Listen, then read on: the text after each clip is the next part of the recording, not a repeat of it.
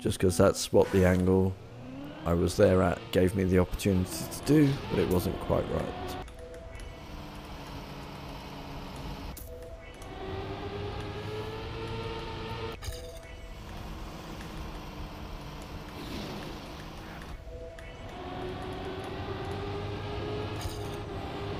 Okay, well we did it with um,